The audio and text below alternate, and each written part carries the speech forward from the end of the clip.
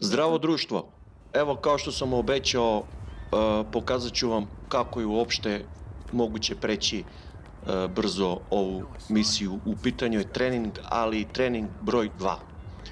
Evo idemo ovako, G, bitno je da idemo što brže.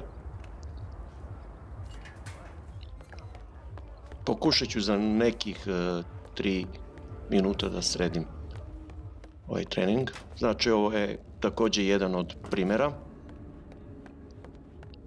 i od predloga. Idem da se preobučem.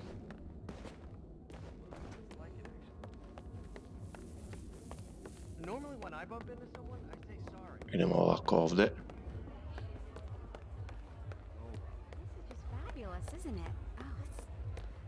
Oh, detail. vidimo da malo preskeniramo. Ne, ništa.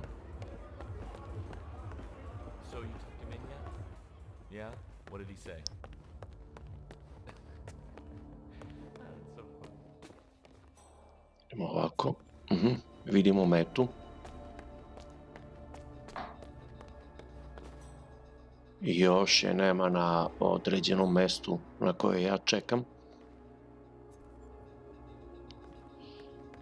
Da vidimo da se spustimo. Moramo da pratimo kretanje mete.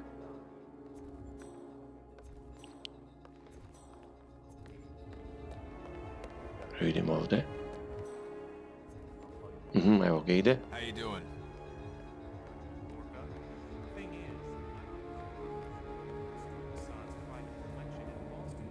Evo ga.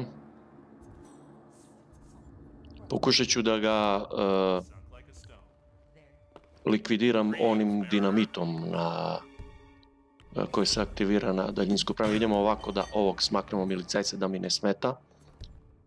E sada uzimamo ovaj eksploziv.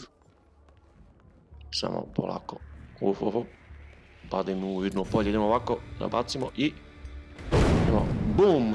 Ale je odleteo. Idemo znači ovde. G. I eto.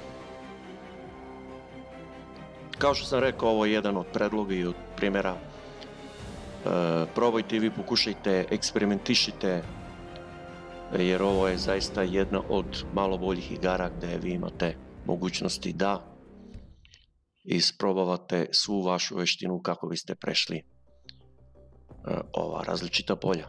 Budite pozdravljeni i ostanite na ovom kanalu kao što sam napomenuo, dakle, slede naredni video snimci. Prijatno!